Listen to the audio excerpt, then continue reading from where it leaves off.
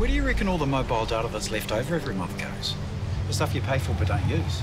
Dunno. You boys want some data?